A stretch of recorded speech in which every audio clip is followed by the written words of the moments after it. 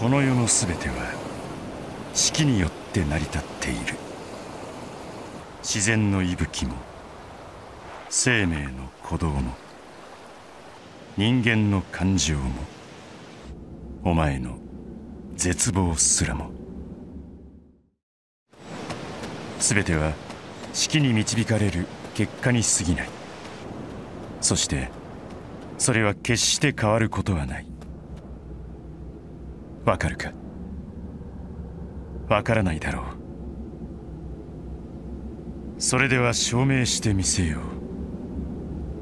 この